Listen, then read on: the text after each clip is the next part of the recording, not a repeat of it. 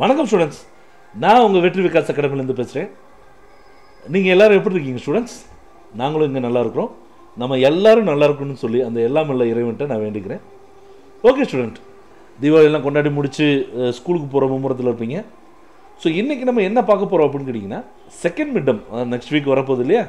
Tenth second மிட்டமில் இருக்கக்கூடிய social science இருக்குது பார்த்தீங்களா அது இருக்கக்கூடிய இம்பார்ட்டன்ட் கொஸ்டின்ஸ் தான் நம்ம இன்றைக்கி பார்க்க போகிறோம் ஸோ இந்த வீடியோக்குள்ளே போகிறதுக்கு முன்னாடி நான் எப்போதும் உங்கள்கிட்ட கேட்குறது ஒரே ஒரு விஷயம் தான் எங்கள் சேனலை இது வரைக்கும் சப்ஸ்கிரைப் பண்ணாமல் இருந்தீங்கன்னா மறக்காமல் சப்ஸ்கிரைப் பண்ணுங்கள் அது பக்கத்தில் இருக்கக்கூடிய பெல் பட்டனையும் கிளிக் பண்ணி வச்சுக்கோங்க ஓகே ஸோ நம்ம டயத்தை வேஸ்ட் பண்ணாமல் நேரடியாக வீடியோக்குள்ளே போகலாம் ஸோ இன்றைக்கி நம்ம பார்க்க போகிறது நான் ஆல்ரெடி சொன்ன மாதிரி tenth social science second mid test important questions தான் நம்ம பார்க்க போகிறோம் இதில் நம்ம என்ன பார்க்க போகிறோம்னா book back and book inside ரெண்டு கொஸ்டின்ஸையும் பார்க்க போகிறோம் சரிங்களா?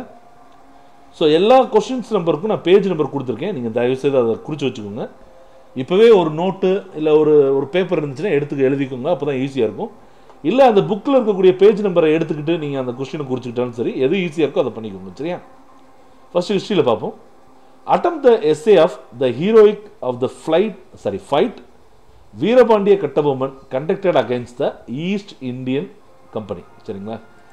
ஈஸ்ட் இந்தியா கம்பெனின்னு போட்டிருக்கேன். ஈஸ்ட் இந்தியன் கம்பெனி ஓகே அடுத்தது give account for the outbreak of Vellore revolt in eighteen eighteen six சரிங்களா அடுத்து discuss the causes and consequences of the revolt of eighteen fifty seven இது வந்து புக்கு இன்சைடில் இருக்குது attempt a narrator narrator account of how Tilak and Annie Besant by launching home rule movement sustained the free Indian freedom struggle after nineteen sixteen சரிங்களா அடுத்து examine the factor that led into the transformation of Gandhi into a mass leader.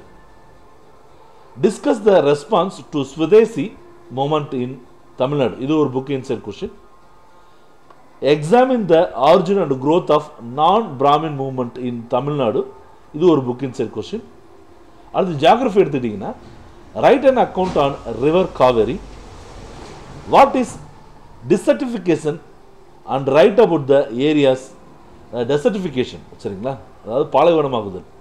About the areas affected by it in Tamil Nadu being out bring out அதுதான் B sorry கொஞ்சம் spelling mistake இருக்குது bring out the types and distributions of soils in Tamil Nadu அடுத்த question பார்த்தீங்கன்னா write about the plantation of farming of Tamil Nadu being bring out mineral distribution in Tamil Nadu explain the different modes of transport available in Tamil Nadu write about road safety rules அடுத்த சிவிக்ஸில் பார்ப்போம். Write a detailed notes on non alignment movement discuss the core determinants of Indian foreign policy trace the reason for formation of BRICS and write of objectives அடுத்து economics எடுத்துக்கோங்க.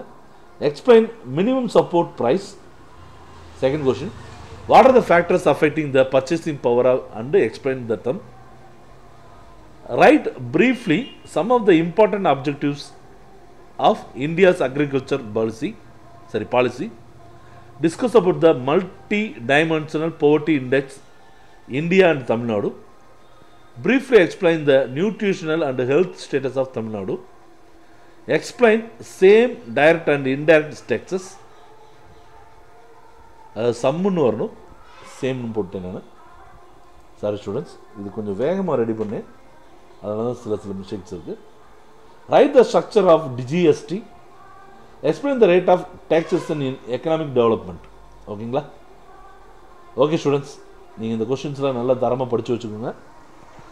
உங்களால் கண்டிப்பாக சாதிக்க முடியும். அதை நானும் நம்புகிறேன் நீங்கள் கண்டிப்பாக சாதிக்கணும்னு சொல்லி மீண்டும் அந்த இறைவனிடம் வேண்டிக் கொள்கிறேன்.